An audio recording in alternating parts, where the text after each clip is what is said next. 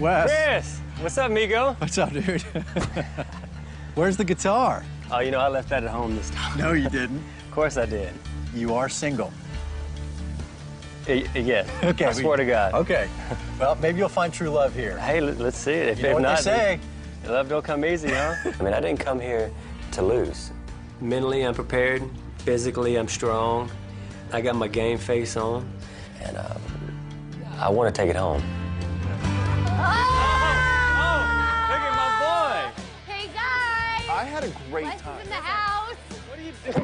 I didn't think they'd be two little like us back Hey, you know they, they gotta have like. Wes is the most famous villain in a Bachelor history, and uh, I hope that girls can understand him and take it with a grain of salt. How did you squeeze your way into this thing? How did you squeeze your way into this Hey, thing? you know, you gotta have America's favorite villain.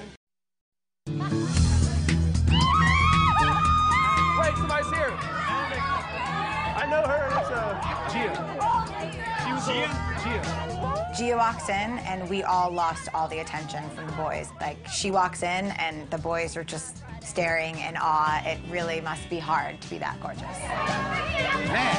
Gia's gorgeous. Great face, lips, body. I mean, she's a swimsuit model. She's gorgeous. What's up, baby? How are you? Gia was just really good looking. I mean, she's she was hot.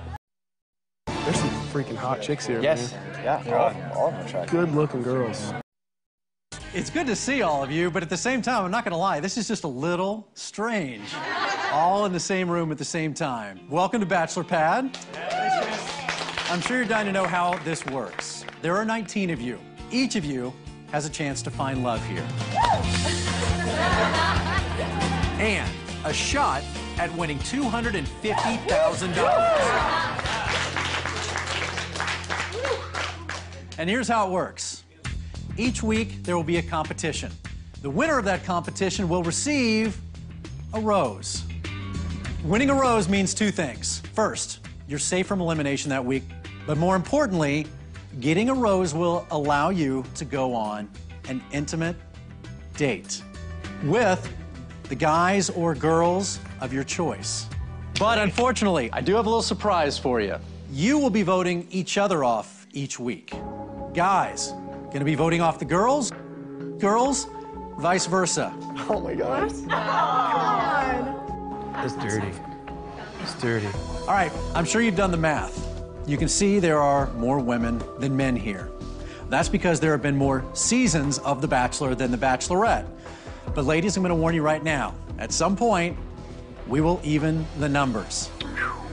That's the pressure.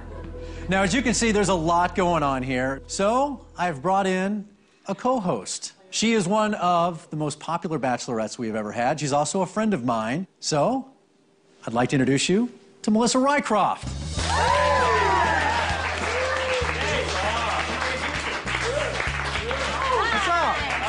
Welcome. What if there's a shot? I hate to correct you this early on, but it's Melissa Yeah. Rycroft Strickland. Duly noted, you are married now. I am. Congratulations. Thank you very much. So Melissa's going to be helping me out, and I promise we are going to have a lot of fun. Go explore the rest of the pad. Melissa and I will see you in just a little bit.